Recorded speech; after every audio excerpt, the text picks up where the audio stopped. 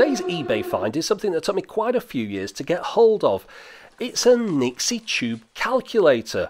The exact model is an Olympia CD401 it's in fully working and almost mint condition. Now, doing a bit of research online, I can find out that this particular model came out in 1972, winning a design award in the process. By 1974, things were heating up a bit in the calculator market and it was getting reduced. It was reduced down to the price of £74.50. Convert that with inflation to today's rates, that's still the equivalent of £786. Imagine paying that for a calculator. Now, the reason I wanted this particular model is because it's the only Nixie Tube calculator I've found with a percent key on it, and that's vital for me to use in my normal daytime job.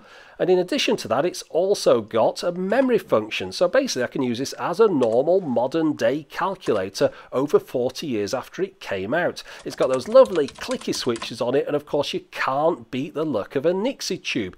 It's that kind of orangey glow that reminds you of a nice fire at Christmas time. So that is the Nixie Tube calculator, the thing that I wanted to show you for today. Uh, stay tuned, come back tomorrow and see what else I've got to show you in my advent calendar. But for the moment, as always, thanks for watching.